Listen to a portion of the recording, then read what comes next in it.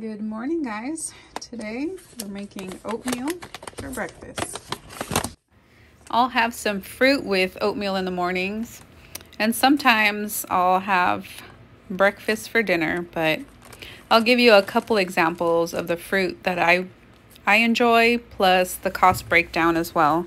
All right, so get about about half a cup. And that's what the serving size is. Half a cup of oats. It's one cup of water.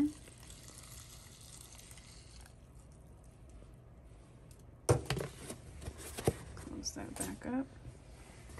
And then I microwave it for two minutes.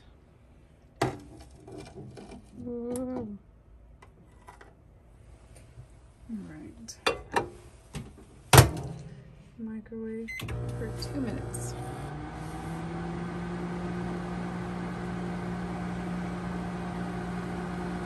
And I won't put you through the torture of two minutes of this.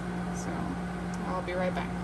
Now while the oats are cooking, I'll typically switch on and off from this being my fruit with the oatmeal or just having a banana with my oatmeal.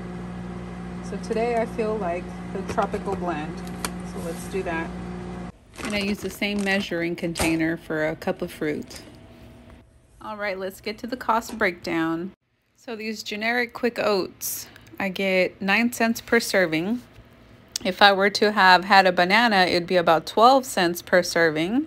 But today I went with the frozen fruit, so that's 75 cents per serving. Today's breakfast was about 84 cents for this bowl. Now on other days where my fruit is a banana instead of this frozen fruit blend, it totals up to be about 21 cents. So if you want to go with the banana, you can even have two of these bowls with two bananas and it still be under 50 cents.